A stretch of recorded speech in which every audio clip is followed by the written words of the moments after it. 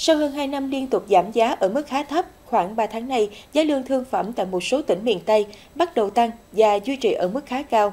Hiện tại, giá lương lại tiếp tục tăng.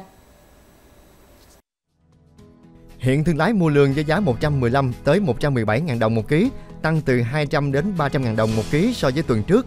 Giá này cao hơn 30.000 đồng tới 40.000 đồng một ký so với cùng kỳ năm rồi. Sau khi trừ chi phí sản xuất, người nuôi lương lãi khoảng 60 triệu đồng một tấn. Sau thời gian dài mất giá, lương thương phẩm đang hút hàng vì nhu cầu thị trường tiêu dùng tăng cao, đặc biệt là xuất khẩu. Trong khi sản lượng trong dân không còn nhiều vì đã bán trước đó. Nhiều hộ tái đàn nên đẩy giá lương giống lên mức cao, dao động từ 3.100 tới 3.200 đồng một con, tăng hơn 1.000 đồng một con so với trước.